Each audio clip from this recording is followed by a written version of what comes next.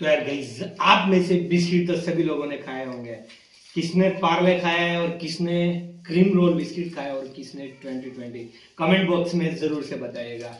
एक हमारे दिमाग में आइडिया आया है गाइस कि इन सारे बिस्किट्स को अगर गर्म तेल के अंदर डाल दिया जाए तो क्या होगा?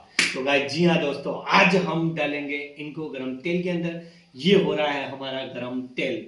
काफ़ी ज़्यादा तेल उबलना चालू हो गया, इसके अंदर से धुआँ आ रहा है, आप देख सकते हो साफ़ साफ़ नज़र आ रहा है। तो यार गाइस ये दिमाग में आइडिया इसलिए आया है कि हम क्या करते हैं कभी कभी गर्म तेल के अंदर जीरा डालते हैं या फिर कुछ आटा डालते हैं तो वो एक अलग ही तरीके से जलने लग जाता है। तो इसीलिए हम आज के इस वीडियो में डाल रहे हैं बिस्किट, वो भी अलग अलग और फिर देखते हैं कि क्या रिएक्शन हमें देखने को मिलता है। तो आप वीडियो के साथ बने रहिएगा, हम डालते हैं पहले, सबसे पहले पार्ले जी बिस्किट को।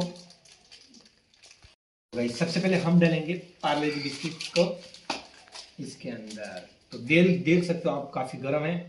चलिए guys one two three oh guys guys आप देख सकते हो किस तरीके से इसके अंदर से बुलबुल आ रही है। और अब हम डाल रहे हैं एक क्रीम रोल को। ओ।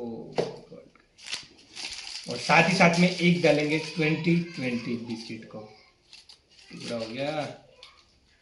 ये। अभी आप देख सकते हो कि किस तरीके से हमारे जो बिस्किट्स हैं, वो उबल रहे हैं। ओ माय गॉड मैं चम्मच लाता हूँ जल्दी से।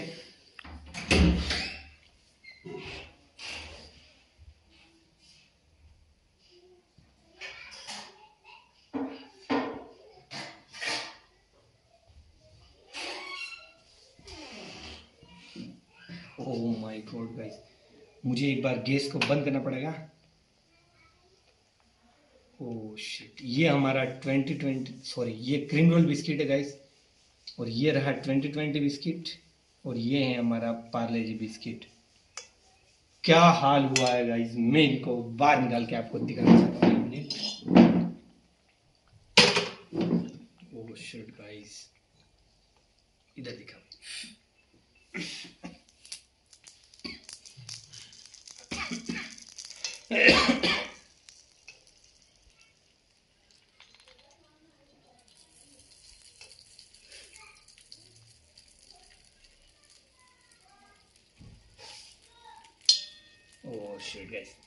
आपको बिस्किट पहचान में आ रहे हैं या नहीं?